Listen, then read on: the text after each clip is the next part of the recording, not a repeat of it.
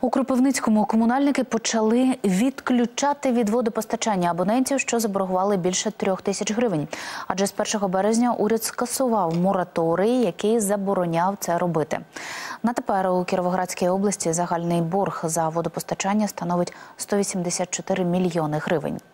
Як відбувається відключення і чи можна його уникнути, коли вже прийшли комунальники, розкаже Олена Бринза. Шукаємо, ну, нужно нам квартиру, яку нам потрібно відключити. Потім запускається приспособлення крок. І по камері ми бачимо, куди нам треба відключити.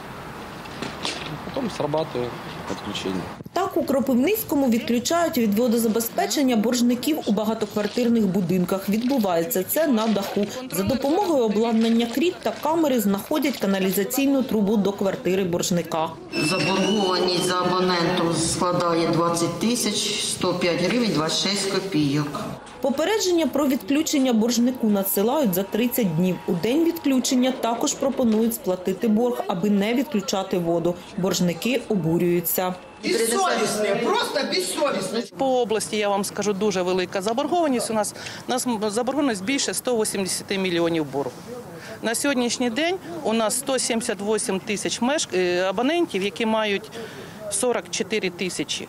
Заборгованість це більше трьох тисяч гривень. Будемо йти на порозуміння. Є е, люди, які хворіють, є люди, які багато родина, сім'я, є переселенці. Ну ми ж теж люди. Якщо людина зараз сплотить нам і піде заключити договір реструктуризації, ми поки будемо займатися іншою адресою, то дуже дуже добре, що вона буде потім сплачувати кожного місяця поточні платежі, плюс частина боргу.